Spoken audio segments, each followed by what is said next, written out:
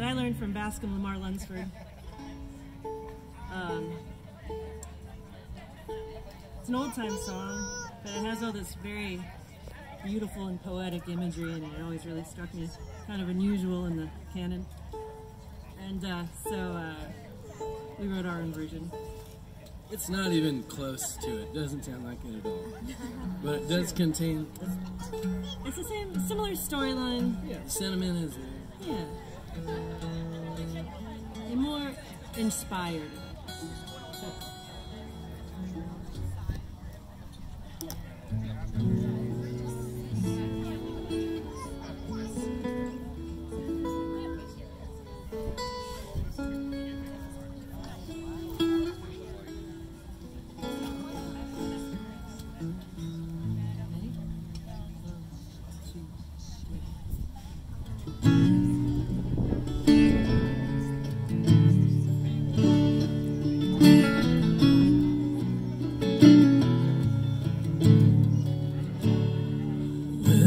Well, I saw